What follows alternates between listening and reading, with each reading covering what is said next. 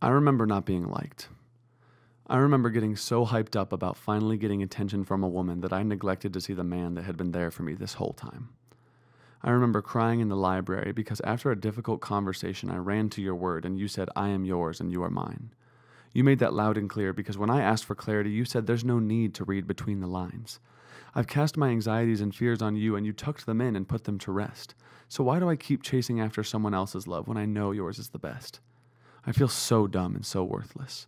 I feel like all my efforts and trials are hopeless, but I keep running back to God because He comforts me and speaks to me softly, My son, know this. Notice that when everyone turns their back, I won't. When everyone says they hate you, I don't. My open arms will always be your home. Remember whose image you were made in, my own. My heart breaks when I see yours break. Come find peace in me when your whole body aches. When your life has been shaken up from emotional earthquakes, I'll shield you from the storm, and that burden I'll take. So when broken pieces align, I'm reminded you are mine. I direct my focus to the cross to see where God threw up his peace sign.